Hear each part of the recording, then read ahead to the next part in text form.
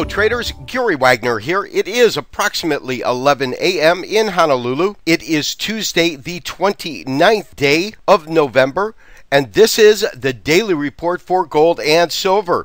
Mixed bag today with gold trading higher and silver currently trading lower. Silver off about 12 cents currently trading at 31.94 back below $32 continuous COMEX contract at 32005. In gold, we do have that higher this morning. It is trading up about $6 on the day, 1716. 50, as you can see, that is on our cash market continuous contract in the COMEX at 1714.80. In the news today is the fact that there is currently a meeting going on in Brussels, and this is in regards to the European Union and their effort right now to enlarge the amount of money, the bailout funds, because quite honestly, they do not have enough money to cover the bailout. So the discussion right now is to enhance the role of the IMF and for the central banks, the European central banks, to basically funnel some money over to the IMF and the, the IMF to help with some stability in the market. Now, they're very good at talk, there's no doubt about that. And as we look at our daily contract of gold, here is what I am noticing. In terms of a candlestick pattern, yesterday that move, the $30 move, was what is called an engulfing bullish. These two candles right in here. The green candle totally engulfs the down day, which is the prior trading day. Now, in order to take that call, you need to have what is known as a confirming candle.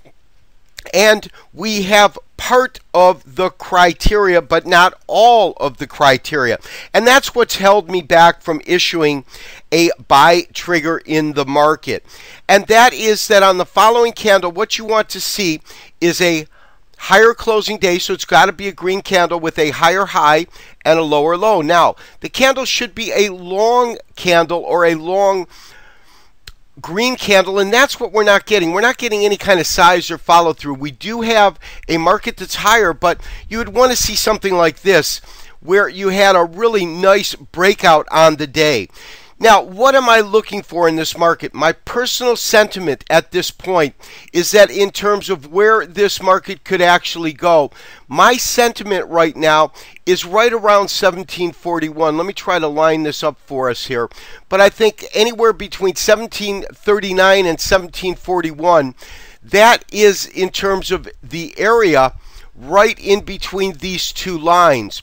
And because we have a small harmonics going on right within this area here, my sentiment is that this little rally that we're experiencing, I think is going to be short-lived at best. I haven't gotten real confirmation that we're up, up, and away, but I think that it wouldn't be out of the realm of possibility to see the market trade up to around 1740 and then trade back down for one last wave within the correction before it terminates if it's going to be a truncated a truncated correction. Realize that on a truncated C wave this C has got to unfold and resolve itself really before you get to A. It can happen at any point because it's basically a, a uh, C wave failure in terms of a corrective wave. This counter wave that we experienced was strong. There's no doubt about that. And the correction that we witnessed was fairly strong because when we take a look at just the raw data and the retracement that we saw, and let me kind of clear the board up so you can see just that retracement. And simply what I've done is we're looking at one Fibonacci retracement sequence. And this sequence begins at the bottom or conclusion of A, all the way, it's the entire B wave. And what you'll see is that this move down that we saw was almost exactly a 50% retracement of that move. And so that falls within the specific parameters that we can see on a basic retracement. The second thing is we do have very strong support between 1664 and 1680. So to me, we've got valid support in this area, but I'm just not seeing the kind of follow through that I would like to see after seeing this consolidation, this set of alternating candles. I would like to, I'd feel more comfortable even if we saw the market break out and break above, say, this 1735 for right now, my sentiment is that it could still simply move to this point and then, as I said, have one more leg down. But we'll have to see. Uh, there's no doubt that this market has a mind of its own. It moves in ways that it wants to and not in ways that we want it to.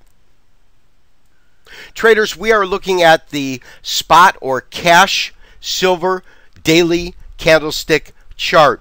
And as you can see, currently trading at 31.94, 31.95.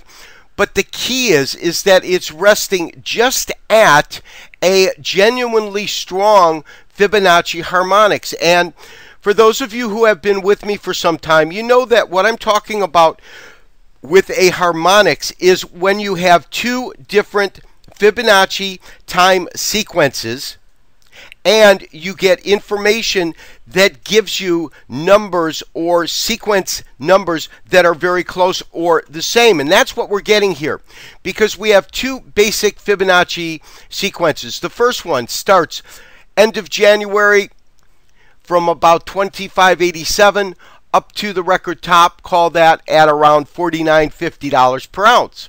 The second one goes from 44.14 down to this low here or the same low and that's uh, again at around $26 and what you can see is as follows. You get a 76% retracement 3190 and a 76% retracement 3151 so you have a true harmonics area. And those areas those harmonics areas to me become significant. Now we have one other harmonics that you can see and that is right here. This 61 matches up with this 61. And so what I find interesting, and this is that harmonics band right in here, and when we take a look at it, what we see is as follows. And that is when the market was trading up in this area, this proved to be resistance that the market simply couldn't overcome. And you can see that it's right at this band where it had trouble and began to stall out. As the market comes down, you can see that right in this area, again, the market did go through the area and actually came to about the 76% level of this shorter term retracement sequence right in here, but it is now resting just at this area. So, what am I looking for? Well, the first thing is, can it hold this area? Because it's a pretty critical area. If it cannot, my guess, my estimate is that we'll probably trade back down to right around $30 per ounce. If it's able to hold this area, it should have fairly clear sailing. It will have a little bit of resistance at around 33, 32.90 right in here, and then a lot of resistance, resistance that so far it's not been able to overcome at $35 per ounce. This has been Gary Wagner wishing you, as always, good trading, and we'll talk to you tomorrow for another daily update and review. Bye bye.